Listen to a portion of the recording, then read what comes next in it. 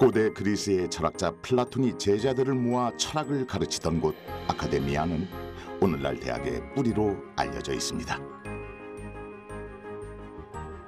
이후 대학은 오랜 시간을 거치며 새로운 학문을 전달하고 축적하기 위한 고등교육기관으로 자리를 잡았습니다. 특히 과학 분야에 있어서 대학은 기술 독립을 이루는 데 필요한 핵심 기관이자 이공계 인재 육성 시스템의 뿌리이기도 하죠. 이 때문에 많은 나라들이 대학을 통해 과학 인재를 키우는 데 힘을 기울이고 있습니다. You need to have people who are very talented. That's the most important ingredient to have a successful project. 最大のキーは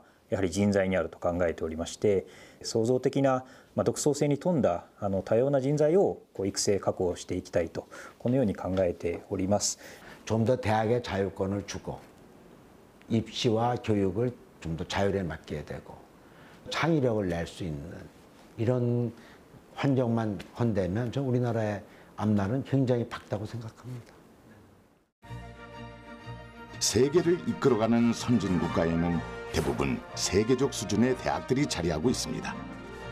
이는 노벨 과학상 수상과도 관계가 있는데요.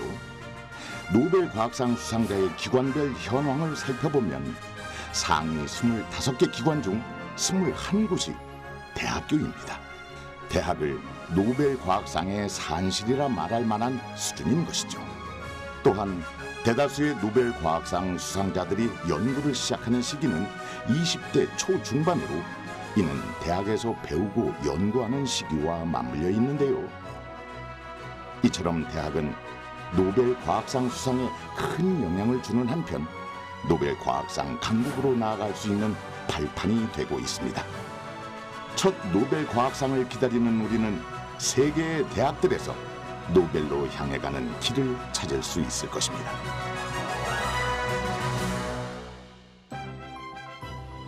미국은 전 세계를 움직이고 있는 대표적인 나라입니다.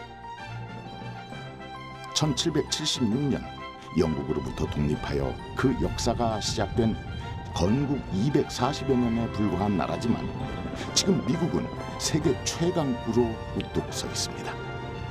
세계 최강국의 위상은 노벨상에서도 예외가 아닙니다.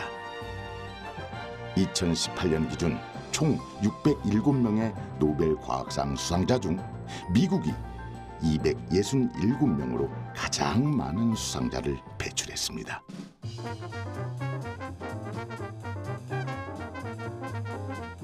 여기엔 역사적 배경이 있습니다.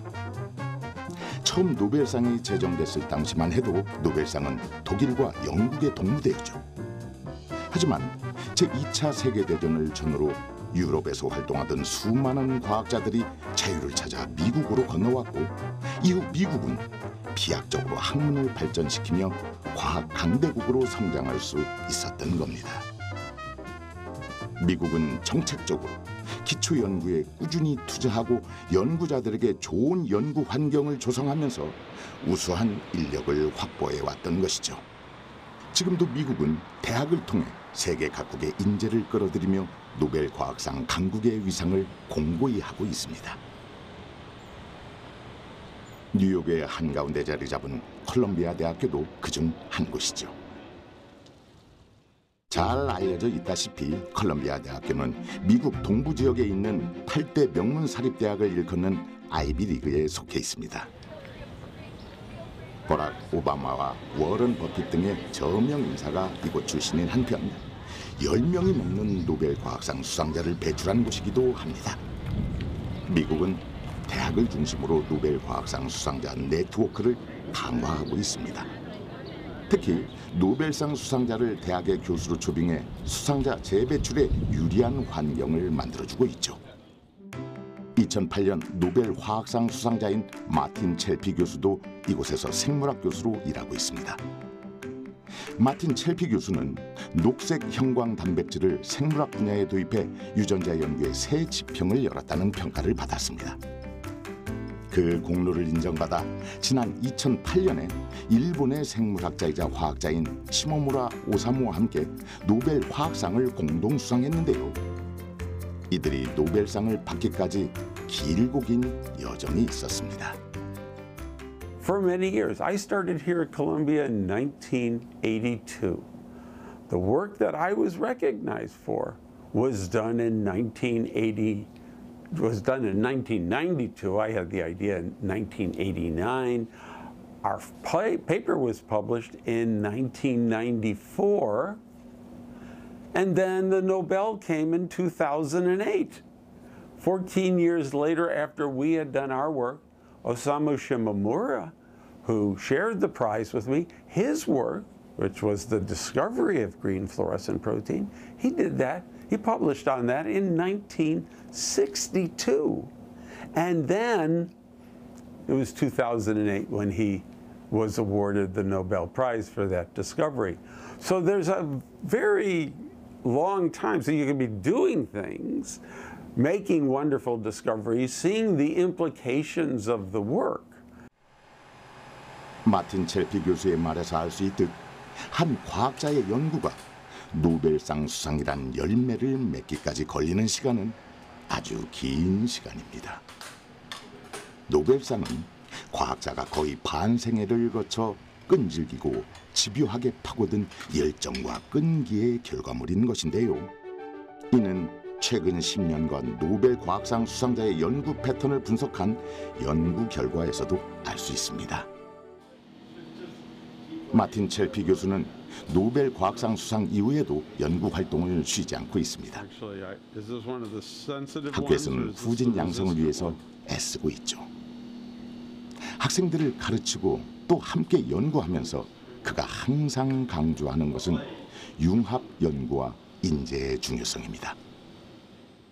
Science can have, uh, it, it can allow for other basic research to build on it. It can lead to applications, and it sometimes leads to things that you never imagined. So I think what one needs is a good mix of both. It's really wonderful having people that want to concentrate on the applications and to use knowledge and apply it in many ways, many usually novel ways. But we have to continue to produce the knowledge for people to do this. 끊임없이 문제를 발굴하고 실험과 증명으로 새로운 발견을 하는 사람, 과학자. 인류 발전을 위해 꼭 필요한 이들을 키워내는 것이 대학의 역할이며 동시에 앞선 세대 과학자인 자신이 해야 할 일이라고 마틴 첼피 교수는 말합니다. 그는 세계 각국을 다니며 강연과 포럼 등을 통해 세계 곳곳의 과학자들과 과학자를 꿈꾸는 학생들도 만나왔는데요. 그들에게 전하는 메시지는 실패를 통해 배우고 성장할 수 있어야 한다는 것입니다. Failure, I feel, is a natural part of being a scientist. So if you can't if you can't cope with failing, you should not be a scientist. It's going to happen. But I think there's a very good reason as to why experiments fail. We are trying to be the first people in the world to make a discovery, to find something out. We don't know the answers. That's what we're trying to get at. And so it seems to me perfectly natural that a lot of our guesses are going to be incorrect. That doesn't mean you stop, it just means you make a lot more guesses and you do a lot more experiments and try. So I know that for myself, I cope with the fact that things are not working by maybe doing more than one thing, because one thing usually works. In fact, I think that does work. 도심 속 여유로운 풍경이 펼쳐지는 이곳은 찰스강 하나를 사이에 두고 보스턴과 나란히 붙어 있는 도시 케임브리지입니다. 영국의 학술 도시 케임브리지와 마찬가지로 이곳 역시 세계적으로 유명한 대학교들이 자리하고 있는 교육과 연구 중심의 도시죠. 하버드 대학교, 보스턴 대학교 등이 모두 이 강을 따라 위치해 있는데요. 그 때문인지 젊음의 낭만과 여유가 넘치는 곳이기도 합니다. 하버드 대학교와 함께 미국을 대표하는 대학 매사추세츠 공과대학교도 바로 이곳에 있습니다. 약칭으로 부르는 MIT가 더 익숙한 이름이죠. 1861년 설립 당시부터 실험 교육에 중점을 둔 MIT는 19세기 말에는 공과대학으로 20세기에 들어서는 다양한 학문 영역을 연구하는 종합대학으로 자리 잡았습니다. MIT is a very international place. Having people from diverse backgrounds um, also benefits MIT because it brings in ideas from many different, many different places. So people from different uh, backgrounds have unique perspectives that are uh, important to hear. So when you bring people from different backgrounds together into one place, sparks of creativity fly. And so by, by having people from many different parts of the world together at MIT, and MIT being so international, that is one of MIT's great strengths. 이런 배경 덕분에 세계를 움직이는 인물들 중에도 MIT가 배출한 인재들이 많습니다. 그 중에는 절단 구조를 가진 유전자를 발견한 공로로 1993년 노벨 생리의학상을 받은 필립 앨런 샤프 교수 등을 비롯해 노벨 과학상 수상자도 20명에 가까운데요. 이를 뒷받침하고 있는 것은 MIT의 인재 관리 전략입니다. 최고의 인재를 뽑은 뒤 연구자에 대한 믿음을 바탕으로 아낌없이 지원하고 있는데요. 이를 통해 좋은 결과를 얻을 수 있는 것이죠. convergence between different scientific disciplines and between science and engineering is a, an important feature of science today, of, re- research today. Uh, we, um, we recognize that at MIT and we support that. Uh, I'll give you two examples. One is our Koch Institute for Cancer Research. Another area where we're just getting started is we're creating what we're calling the Schwartzman College of Computing. Um, so this is a new uh, major organizational structure at MIT, which is going to include uh, people from science, people, experts in society, experts in engineering, all of whom have an interest in computing. 학교를 설립할 당시부터 실용적인 학문 연구에 집중해온 MIT는 지금도 실생활과 밀접하면서 산업과 연계된 연구 활동을 장점이자 강점으로 내세우고 있는데요. 그 핵심에 학제 간 융합 연구가 있습니다.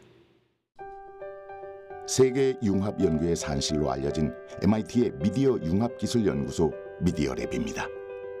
미국의 미디어 학자이자 멀티미디어의 개념을 처음으로 제시한 니콜라스 네그로폰테와 인공지능의 창시자 마빈 미니스키가 1985년 설립한 곳이죠. MIT 미디어랩 설립 당시 소통과 융합의 정신을 중요하게 생각했습니다. 이 점은 각 연구실 안이 사방에서 보이도록 설계한 투명한 유리벽과 탁 트인 공간 곳곳에서 느낄 수 있죠. MIT 미디어랩의 특징 중 하나는 다양성입니다. 음악가, 화가, 언어학자, 생물학자 등 폭넓은 분야의 전문가들이 협력하고 있으며 연구 주제에도 제한이 없는 편이라 설립 이후 기발하고 창조적인 연구 주제로 주목받아 왔습니다. 이 때문에 꿈의 연구소, 상상력 공장 등의 별칭이 따라붙기도 하는데요. 가상현실, 3차원 홀로그램, 유비 쿼터스 등의 개념도 바로 이곳 MIT 미디어랩에서 제시되었죠. MIT 미디어랩 안에는 약 25개의 연구 그룹이 300개가 넘는 연구 아이템을 진행하고 있습니다. 그중 한 곳이 이곳 바이오 메커트로닉스 연구 그룹인데요. 생물학, 기계공학, 전자공학의 로봇공학과 신경과학 분야까지 아우르고 있는 곳이죠. Many of the interesting questions and problems and solutions to problems in today's world occur at the, at the boundaries between formal disciplines. Um, for, you know, so you have mechanical engineering, electrical, chemical, material science, uh, and on and on across many disciplines.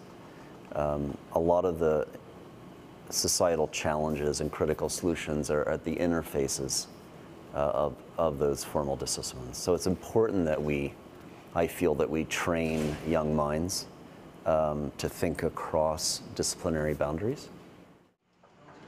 휴허 교수는 10대 시절 등산 중 조난 사고로 동상에 걸려 두 다리를 절단하는 아픔을 겪었습니다. 그 뒤로 물리학, 기계공학, 생물물리학을 두루 공부한 끝에 생체공학적 의족을 만들게 되었습니다. 그의 의족은 24개의 센서, 6개의 마이크로 프로세서, 근육과 힘줄 방식의 구동장치로 구성되어 있습니다. 휴호 교수는 생체공학적 의족을 통해 장애인의 신체적 능력을 향상시켜 왔는데요. 궁극적으로는 신경계와 인공체계가 소통하는 새로운 신체를 만드는 데 연구 목적이 있습니다. In the lab here at MIT, we're focused on um, three questions: uh, how to how to build robotic limbs that emulate the the mass and dynamics of the biological limb. Um, secondly, we're thinking about how to attach such robotics to the body me- uh, mechanically in a safe, healthy way. And thirdly, how to uh, connect uh, the synthetic computation of the, of the limbs to the human nervous system in a bidirectional way. So those three areas or interfaces is what the lab focuses on. MIT 미디어랩 바이오메카트로닉스 연구그룹에는 20명이 넘는 연구원들이 있습니다. 그 중에는 박사과정 1년 차인 한국인 유학생 연승우 씨도 있는데요. 전자공학 전공자로 이곳에선 일렉트릭 엔지니어로 일하고 있죠. 연승우 씨가 이 연구에 참여하게 된 것은 인간의 삶을 변화시키는 공학의 힘과 가치를 깨달았기 때문입니다. 막 기술 자체가 이렇게 사람의 삶에 가깝게 들어와가지고 한순간에 탁 바꿔버리는 그런 분야들이 많지 않은데 이렇게 뭔가 사- 사람들 삶과 되게 가까이 가면서도 막 크게 변화를 가, 지고 올 수 있고 거기서 오는 보람도 되게 크고 뭐 그래서 뭐 이 분야를 결정한 것 같아요. 네. 생체공학적 의족을 연구하고 만드는 일은 매우 복잡합니다. 여러 분야의 전공자와 전문가들이 함께 해야 하는 일이죠. 이 때문에 다양한 분야에서 각자 전문성을 갖춘 연구원들이 하나의 목표를 향해 제 몫의 역할을 해내고 있습니다. And I'm currently working on developing biomechanical models uh, to understand human motion. And if we can model the lower limbs mathematically, and if we know what the stimulation of the muscles are, then we can know how the limb should move in space. So in this way, we interface and link up the neural side of human biology with the robotic prosthetic side of robot output. MIT 미디어랩의 많은 연구 그룹처럼 이곳 바이오메카트로닉스 연구 그룹도 한 가지 핵심 기술과 관련된 분야만 연구하는 것이 아니라 그와 관련된 응용 분야나 활용 가능한 여러 분야까지 학문간에 어떤 경계도 없이 자유롭게 소통하며 연구하고 있습니다. In this lab, it's very important that we collaborate between projects, and it's a very interdisciplinary lab. So, being able to have um, collaborations between projects with people with different skill sets is very important. So, I've worked with Sangho from the beginning. We both started at the same time, um, and we've collaborated on a number of projects together. And he is both very knowledgeable and also very happy to help where his um, where his knowledge can be of use for other people's projects. 다양한 나라에서 온 연구자들이 모인 이곳에서 연승우 씨 역시 유학생활 5년째를 맡고 있는데요. 세계적으로 우수한 대학에서 많은 인재들을 만나고 또 MIT의 연구 환경을 접하며 연승우 씨는 과학 인재 양성에 있어 이곳만이 갖고 있는 경쟁력에 대해 생각합니다. 그 뭐 근데 저 제가 미국 와서 좀 놀았던 거는 사실 뭐 지금 여기 MIT니까 MIT만 해도 노벨상 받으신 교수님들도 많고 막 그렇게 특별한 일이 아닐 수도 있겠다는 생각을 많이 했어요. 그런 분들이 뭔가 본인들이 끌고 가려고 하기보다는 되게 똑똑한 아니면 되게 유능한 연구자들의 의견들을 되게 잘 수렴해서 뭔가 이제 그분들이 드라이브 하는 방향으로 지원을 해준다는 느낌이 많았거든요. 그렇게 이- 연구자들 존중해주고 믿어주는 인프라에서 노벨상이 되게 나온다고 생각은 합니다. 진리를 탐구하는 기초 과학을 기반으로 인간의 삶을 질적으로 향상시키는 것이 공학의 목적이자 가치라고 생각하는 연성호 씨. 그의 생각은 함께 일하는 동료들의 생각과도 다르지 않을 텐데요. 새로운 로봇 신체의 영역에 도전하고 개척해 나가고 있는 이들이 인류에게 보여줄 또 다른 미래를 기대해 봅니다. 보통 기초과학의 성장은 응용과학과 공학의 발전으로 이어집니다. 기초과학과 응용과학은 과학이라는 한 뿌리에서 나와 상호 촉진하며 발전해 나가죠. 이 때문에 둘 사이의 균형을 맞추는 것이 그 무엇보다 중요한데요. 독일의 포츠담 골름 과학단지에서 그 예를 찾아볼 수 있습니다.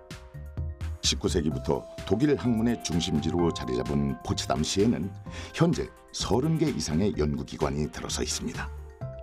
독일의 대표적인 기초과학 연구소인 막스 플랑크 연구소 세 곳과 유럽 최대의 응용과학 연구소인 프라운 호퍼 연구소 두 곳도 바로 이곳 포츠담 골름 과학단지에 있습니다.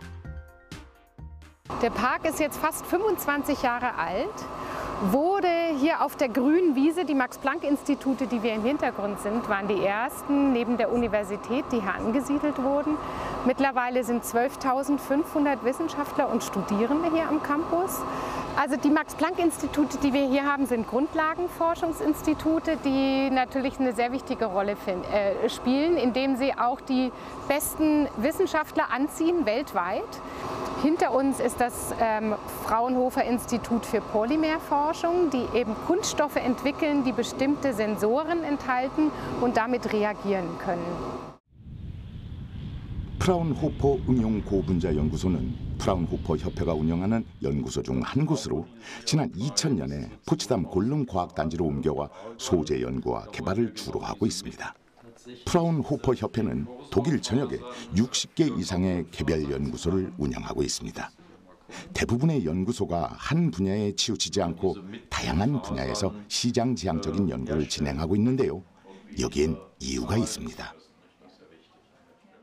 Also wir betreiben Grundlagenforschung immer anwendungsorientiert, weil wir nach dem Fraunhofer Modell nur 30 Prozent unseres Budgets vom Staat bekommen als Grundfinanzierung und die restlichen 70 Prozent am freien Forschungsmarkt verdienen müssen. Im Idealfall die Hälfte von Unternehmen, die andere Hälfte von öffentlichen Programmen, wo wir uns im Wettbewerb mit anderen eben bewerben bei der Europäischen Union bei der Bundesregierung, bei der Landesregierung. Da gibt es aber immer Konkurrenten, also das, solche Mittel halt zu bekommen. Und äh, deshalb machen wir Grundlagenforschungsdinge mehr eben schon immer mit Blick auf die spätere Anwendung. 응용과학은 산업 분야와 사회에 폭넓게 도움을 주는 한편 산업과 과학 사이의 간격을 좁혀주는 역할도 하고 있습니다. 이 때문에 기초과학만큼 중요한 연구 분야라 할 수 있습니다. 하지만 모든 연구가 기초와 응용으로 분명히 구분될 수 없기 때문에 포츠담 골룸 과학단지 안에 있는 막스 플랑크 연구소와 프라운호퍼 연구소는 대학과와 협력해 상생의 관계를 유지해 나가고 있습니다. Eine Universität, und das zeigt sich hier am Beispiel des, des äh, Parkes ganz besonders, ist auf, ein, also auf der einen Seite auf die Ausbildung der Studierenden gerichtet und auf der anderen Seite Forschung zu machen. Und die haben wir zum Beispiel an diesem Standort, indem wir sogenannte gemeinsame berufene Professoren haben.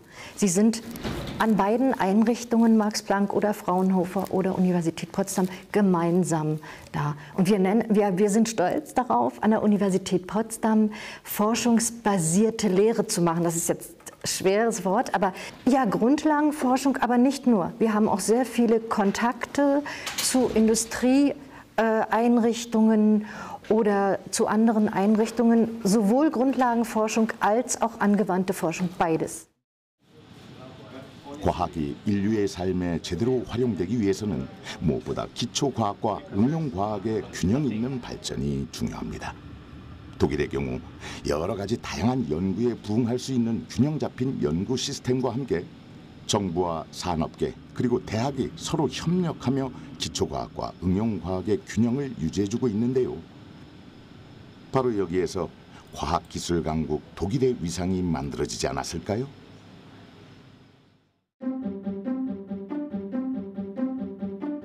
(2000년대) 들어 거의 해마다 노벨 과학상 수상자가 나오고 있는 나라 일본입니다. 나고야는 일본 중부지방의 대표적인 도시이자 일본 3대 도시 중 하나로 꼽히는 곳입니다. 예로부터 관동과 관서를 연결하는 교통과 산업의 중심지이기도 하죠. 바로 이곳에 역사 전통을 자랑하는 대학이 있는데요. 바로 나고야 대학교입니다.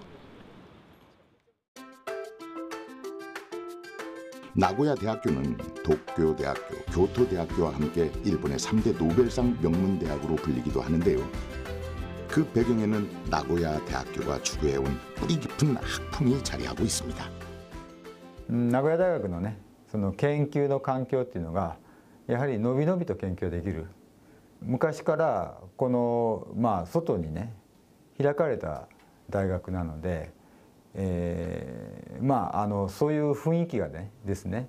どっちかというと上下関係というよりもフランクなね付き合い。人間としてのあのフランクな付き合いをね。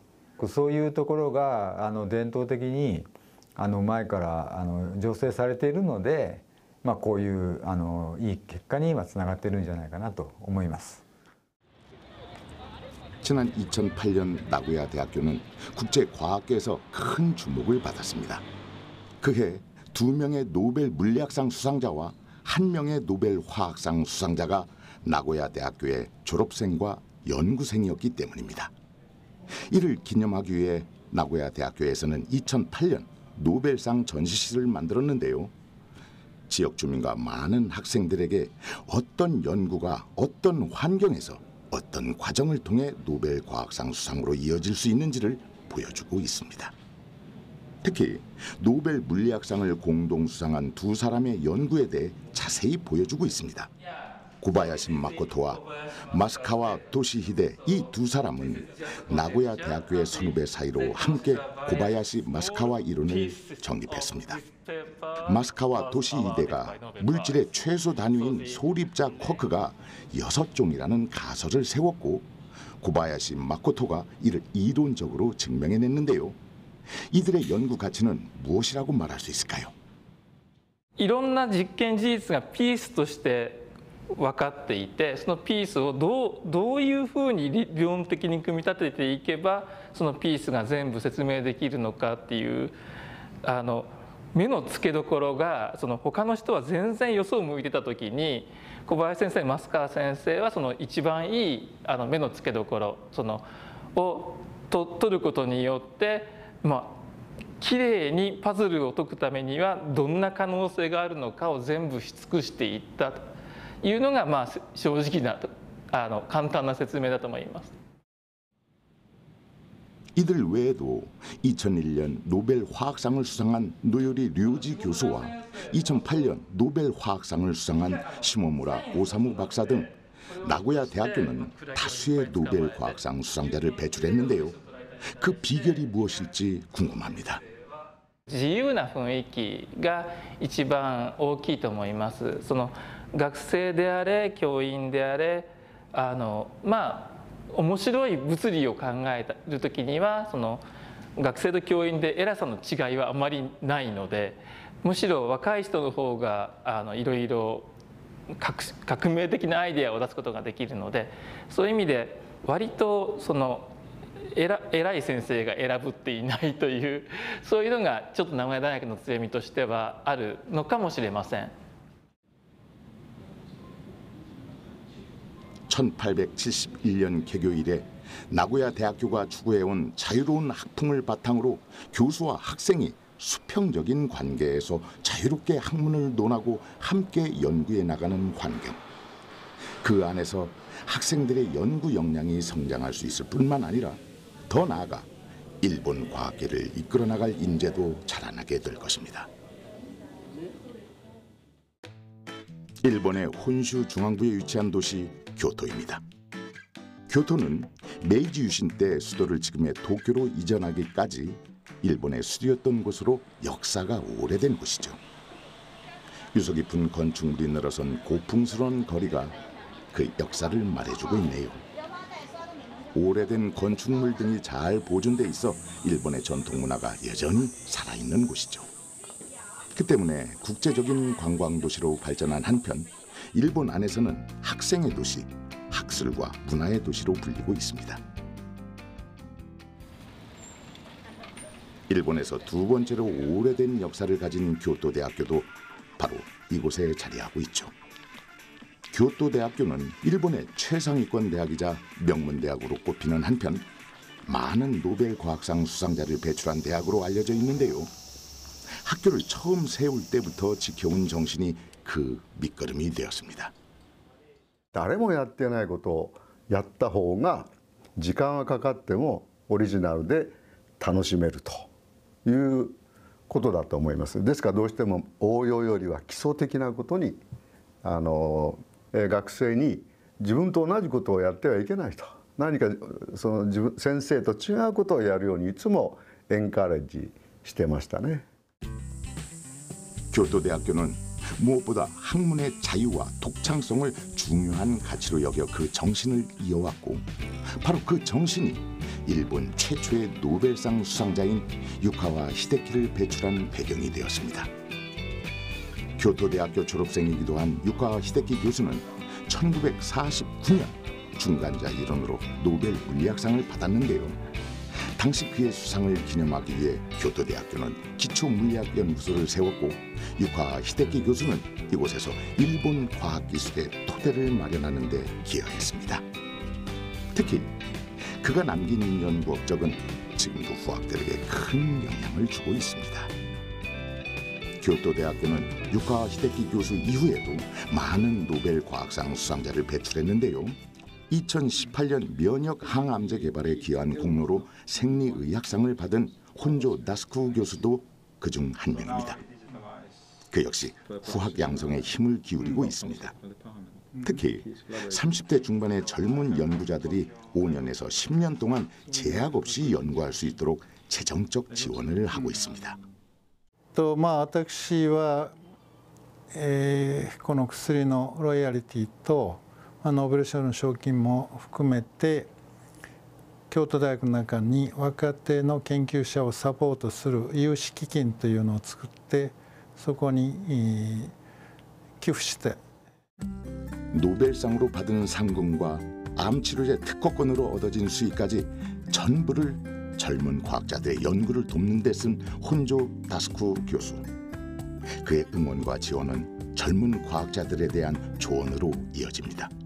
第一キュリオシティ好奇心がないといけない。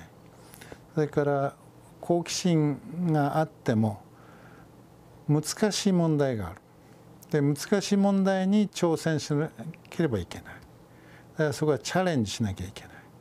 チャレンジするためにはまあ勇気がいる。それからあ実際にチャレンジ始めてもやっぱりそのことに集中してやらなきゃいけない。コンセントレーションがいる。それからなおかつ継続していかなきゃいけないちょっとやってダメだったからってやめるようではダメでそうやってるうちにいつしかコンフィデンスがね自信を持ってまっすぐ進めるようになる 앞선 세대 과학자들의 지원 아래 교토대학교의 젊은 과학자들은 자신만의 연구에 집중하고 있는데요. 사이토 미치노리 교수도 그중 한 명입니다. 그는 생명과학 분야의 연구자로 교토대학교 안에서 미래의 노벨상 수상자로 주목받고 있죠. 생식세포를 연구하고 있는 사이토 미치노리 교수는 최근 체외 배양만으로 배아줄기 세포에서 전자줄기 세포를 만드는데 성공했습니다. えっと、これまで長くマウスを使った研究をしてきたんですがあーそれ が最近、まあ、それも78年ぐらい前からですけれども猿とか人ですねの細胞を使った研究にあの発展してきておりまして、まあ、これまでほとんどできなかったあー人や、まあ、霊長類における生殖細胞の形成機構が試験管の中で分かるようになると。 그의 연구는 앞으로 남성 불임 치료에 응용될 것으로 기대를 모으고 있습니다. 이처럼 사이토 미치노리 교수가 20년 넘게 이 분야의 연구를 계속해오면서 최근에 의미 있는 연구 성과를 내놓을 수 있었던 것은 앞선 세대 과학자들의 지원과 함께 그들이 쌓아놓은 연구 업적이 있었기 때문입니다. 특히 세계적인 수준을 보여주는 교토대학교의 생명과학 분야는 줄기세포 연구로 2012년 노벨 생리의학상을 공동 수상한 야마나카 신야 교수와 존 거든 교수의 연구 업적과도 밀접한 관련이 있는데요. 이를 바탕으로 또 한 명의 노벨 과학상 수상자가 나올 수도 있을 것입니다. これはやっぱり皆が憧れるもんではあるかと思うんですけどもあの通常ほとんどの人はですねそういうことを意識して研究を始めるわけではないと思うんですね。まあ、自分はどんな研究どこに興味があるんだと。何をやっぱりあの解き明かしたいのかと。思うその自分の個人的なまあパッションなりクエスチョンが中心にあってそれに対してこう答えを求めていくと。そうするとそのノーベル賞だとかいろんな賞とかそういうことにつながる可能性が出てくるのかなというふうに思います。 연구자가 어떤 실패에도 굴하지 않고 나아갈 때 학문적 욕심만으로 해답을 찾는 데 집중할 때 노벨 과학상은 선물처럼 주어질 것입니다.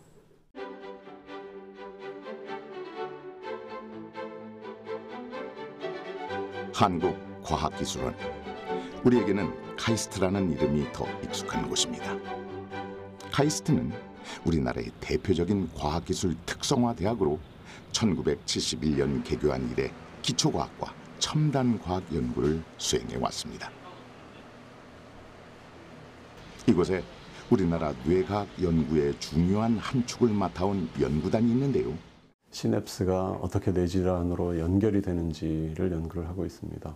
아시는 것처럼 시냅스는 이제 신경 전달이 일어나는 장소인데 어, 신경 전달이 시냅스에서 제대로 일어나지 않았을 때 그것이 이제 어떻게 뇌질환으로 연결되는가를 연구를 하고 있고요. 여러 뇌질환 중에서 특히 이제 자폐 스펙트럼 장애라는 어, 뇌 발달 장애에 관심을 가지고 연구를 하고 있습니다. 실험실에서는 실험주의 뇌조직 일부를 얇게 편뜬 절편을 이용해 신경세포들의 신호 전달을 측정하는 전기 생리학 실험을 주로 하고 있습니다. 또한 인위적으로 DNA를 증폭시키는 중합효소 연쇄 반응 실험도 진행됐는데요.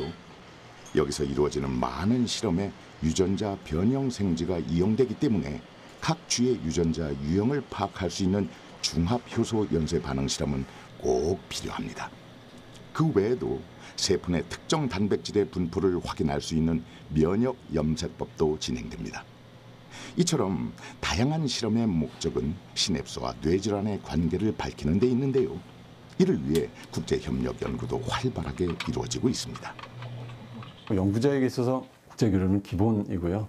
어떻게 보면 국제 교류를 하지 않으면 서바이브 할 수가 없는 그런 어, 전체적인 환경이 조성이 되어 있고요. 최근에 와서는 이제 굉장히 국제 교류가 활발해지고 어떻게 보면 한국이라는 이 조그만 나라가 국제 무대에서 이제 다른 나라하고 동등한 어떤 자격이나 위상으로 국제 교류를 하고 있는 그런 시대가 됐습니다. 시냅스 뇌질환 연구단 역시 해외의 연구 그룹에 뒤지지 않는 연구 역량으로 세계 많은 연구자들과 함께 인류의 문제를 해결해 나가고 있는 것이죠. 시냅스 뇌질환 연구단의 연구 목적은 궁극적으로 자폐증을 비롯한 정신질환을 치료하는 데 있습니다. 복잡하고 어려운 문제인 만큼 오랜 시간이 걸릴 텐데요. 그래서 더 필요한 것이 있습니다. 연구 환경 조건은 일단 안정적이고 장기적인 지원이라고 생각합니다. 어, 기초과학의 성과는 빠르게 나타나지 않고요. 어, 따라서 장기적인 지원이 필요합니다. 그리고 또 어, 한번 실패한 과학자는 또다시 어, 지원을 받을 수 없는 구조인데요. 어, 기초과학의 발전은 이런 실패들 속에서 꼽힌다고 생각하는데 이렇게 실패를 두려워하게 만드는 구조는 기초과학 발전에 저해가 된다고 생각합니다. 아직 초기 단계인 시냅스 뇌질환 연구는 새로운 발견의 가능성이 크기 때문에 세계적으로도 주목받을 수 있는 연구 성과를 기대해 볼 수도 있는데요. 이를 위해 꾸준한 지원과 관심이 필요합니다. 사회적으로 기초과학 어떻게 생각하느냐가 제일 중요한 것 같아요. 그게 정말로 중요하면은 거기에 대한 지원이라든지 또 실제 연구에 임하는 연구자들의 자세라든지 이런 거 조금도 흔들림이 없겠죠. 그게 이제 50년 쌓이고 100년 쌓이면 그냥 자연스럽게 노벨상이 매년 나올 수도 있는 거죠.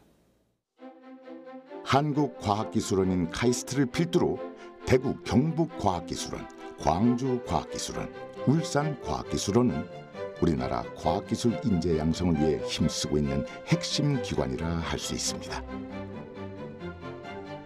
이 네 개의 과학기술원이 제 역할을 잘 수행하기 위해서는 국가 차원의 지원과 노력이 중요합니다. 특히 이공계 석박사급 우수 인력이 점점 줄어드는 상황에서 연구자들이 흔들리지 않고 연구에만 매진할 수 있는 환경을 만들어주는 것이 정부의 역할 중 하나가 될 것입니다.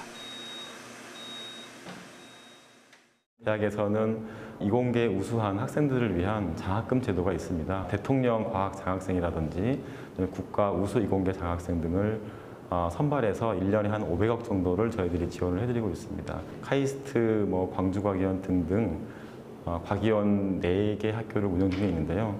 이 과학기술원에서 이제 공부하는 그 석박사 학생들이 좀 더 안정적으로 어, 공부에 전념할 수 있, 도록 이제 그 학생 장려금 제도, 뭐 stipend라고 소위 말씀들 하시는데 그 제도를 올해부터 본격적으로 지금 운영을 하고 있습니다. 우리나라 과학기술 특성화 대학 중 막내격인 울산과학기술원, 다른 이름으로 유니스트는 지난 2009년 국내 최초의 법인화 국립대학으로 출발해 2015년 과학기술원으로 전환된 교육연구기관입니다. 역사는 짧지만 빠르게 성장하고 있는 대학 중 한 곳으로 2030년까지 세계 10위권 과학기술 특성화 대학을 목표로 하고 있습니다. 이를 위해 개교 단계부터 세운 몇 가지 전략이 있는데요. 그 중 하나가 세계적인 수준의 연구자를 교수로 초빙한 것입니다. 탄소 재료 분야에서 세계적으로 손꼽히는 연구자 로드니 루프 교수도 그 중 한 명입니다. 20년 이상 탄소 소재를 연구해온 그는 특히 그래핀, 탄소 나노튜브 등 나노 규모 탄소 소재의 구조와 특성을 밝히는 데 있어 선구적 역할을 하고 있는 연구자인데요. 2018년 피인용 우수 연구자로 선정되면서 노벨상의 유력한 후보자로 꼽히기도 했습니다. 다른 연구자들에게 영향을 주며 한 분야의 연구를 이끌어온 그가 이루고 싶은 것은 새로운 발견입니다. We'd like to make forms of carbon that have not been made before. I hope to continue to be very creative, to try to find new pioneering directions and then to talk about them with my group. They have good ideas as well. 대학교에서 학생들을 가르치는 한편 기초과학연구원의 다차원 탄소재료 연구단 단장을 맡고 있기도 한 로드니 로프 교수. 10년 가까이 한국에서 생활하면서 한국의 대학이나 연구소의 연구 환경을 두루 겪어본 그는 좀 더 효율적인 연구를 위해 지금과는 조금 다른 연구 문화의 변화를 제안합니다. This is always a really important and interesting question because there's a lot of talented people here in Korea. So I think that the culture must also include fostering young scientists. So rather than a kind of a hierarchical situation where only older people are making important scientific decisions like which research to do or which directions to pursue, I think we need an environment where uh, young people who have a certain level of experience, perhaps with PhD, can have the freedom to do very exciting research that they think of so that they can really do something pioneering as well. 상하 관계로 다소 경직돼 있는 한국의 연구 문화에 소통이 필요하다는 말인데요. 여기에 연구자의 독창성과 연구에 대한 열정이 더해진다면 빛나는 연구 성과를 얻을 수 있을 것입니다.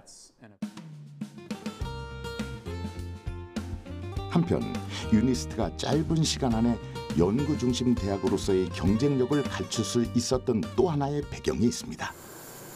유니스트의 심장이라고 할 수 있는 연구 지원 본부인데요. 개교 당시부터 지금까지 약 300여 종의 기기에 600억 원이 넘는 투자가 이루어졌습니다. 더불어 연구자들의 연구 효율을 극대화하기 위해 최첨단 연구 장비를 운영하는 전문 인력도 배치하고 있습니다. 연구지원본부는 어, 2009년도 개교할 때 유니스트가 가장 먼저 투자한 그런 시설이고요. 투자보다 더 중요한 것은 어, 이러한 어, 기기들을 어, 효율적으로 운영할 수 있는 전담 어, 운영 인력이 이 교수 3인을 포함해서 예, 56명의 잘 훈련된 그런 어, 인력이 있습니다. 어, 유니스트 교수들의 연구 지원뿐만 아니고 어, 지역에 있는 기업의 에, 연구 지원, 어, 분석 업무를 담당하고 있습니다. 전문 인력이 배치돼 있는 연구 지원 본부 안에는 핵 자기 공명 분광실, 엑스선 분석실, 투과 전자 현미경실, 3차원 나노 가공실 등이 꾸려져 있는데요. 이처럼 최첨단 연구 장비와 전문 인력을 바탕으로 유니스트는 과학기술 분야에 특화된 연구 중심 대학으로 성장하고 있습니다. 한편 그 성장을 이끌고 있는 한 연구자가 있습니다. 에너지 공학부의 특훈 교수이자 인류에게 닥친 에너지 문제 해결의 열쇠를 쥔 한국의 과학자 석상일 교수입니다. 석상일 교수는 미래의 핵심적인 신재생 에너지로 각광받고 있는 태양전지 분야 중 페로브스카이트 분야를 선도하고 있는 세계적인 과학자입니다. 기존의 실리콘 태양전지가 가진 여러 가지 한계를 극복할 수 있는 차세대 태양전지 개발로 태양전지의 역사를 다시 쓰고 있습니다. 페로브스카이트는 유기물과 무기물이 공존하는 특이한 결정성 반도체로 이를 태양전지의 소재로 쓰면 가볍고 유연하며 저렴한 비용으로 태양전지를 만들 수 있는데요. 석상일 교수는 바로 이 점을 주목해 페로브스카이트 재료 기반의 태양전지를 만들어냈습니다. 페로브스카이트 태양전지와 관련한 석상일 교수의 연구는 세계 최고 권위의 학술지인 사이언스와 네이처지의 다섯 편의 논문이 실리면서 국제과학계의 주목을 받았습니다.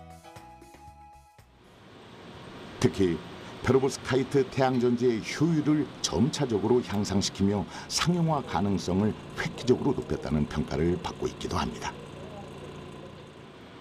2012년 초부터 페로브스카이트 태양전지 연구를 시작한 석상일 교수는 태양전지 상용화의 과제를 하나씩 차근차근 해결해 온 것입니다. 먼지같이 싼 그런 태양전지가 아, 필요하다는 거고 그런 먼지 같은 태양전지는 하기 위해서는 페인트 칠하듯이 어, 어, 몇 가지 물질만 섞어서 이렇게 코팅을 하면 태양전지화 되는 어, 그런 형태의 태양전지가 있으면 되겠다는 꿈을 꾸게 되잖아요. 그래서 그 꿈을 쫓아서 어, 저희 같은 과학자들이 어, 다양한 시도를 하게 되었고 그 많은 시도 중에서 운이 좋게 제가 어, 그 저희가 기대 어, 기획하고 생각했던 것들이 어, 실현이 돼가고 있다 이렇게 보면 되겠죠. 그간의 연구 성과를 운이라고 말하지만 그는 2018년에 이어 올해도 논문 피인용수 기준 세계 상위 1% 연구자에 선정되었고 국내 과학계에서는 노벨 과학상 수상자 후보로 기대를 모으고 있습니다. 하지만 노벨상 수상이 연구 목표가 아니기에 지금도 학생과 또 후배 과학자들과 함께 과학자로서 할 수 있는 일과 해야 할 일에 집중하고 있습니다. 노벨상은 대부분 어, 적어도 10년 아니면 적어도 수십 년이 정도 흘렀을 때그 그, 그 당시에 얻어졌던 결과물의 가치가 이제 후세에 들어와서 인정을 받아서 나타나는 경우가 상당히 많거든요. 시간이 지나면 어, 자연스럽게 우리나라도 어, 급격히 어, 노벨상 수상자가 나타나면서 급격히 숫자가 증가할 거로 어, 이렇게 예상을 합니다. 새로운 분야를 개척하겠다는 의지와 세계 최고를 이루겠다는 뚝심으로 차세대 태양전지의 역사를 만들어가는 석상일 교수. 그의 연구 성과가 인류에게 밝은 미래를 선물해 줄 수 있기를 기대합니다. 지식과 지성의 산실, 학문의 전당. 이것은 오랫동안 대학이 수행해온 역할이며 우리가 기대하고 바라는 대학 본연의 모습입니다. 미래 사회를 이끌어갈 인재들이 모이고 이들이 더 크게 도약할 수 있는 곳 또한 대학이기도 합니다. 학문 연구와 인재 양성 이 둘의 균형 속에서 대학이 앞으로 나아갈 때 더불어 과학자가 존중받는 사회적 분위기가 형성될 때 우리도 노벨로 가는 문을 활짝 열 수 있을 것입니다.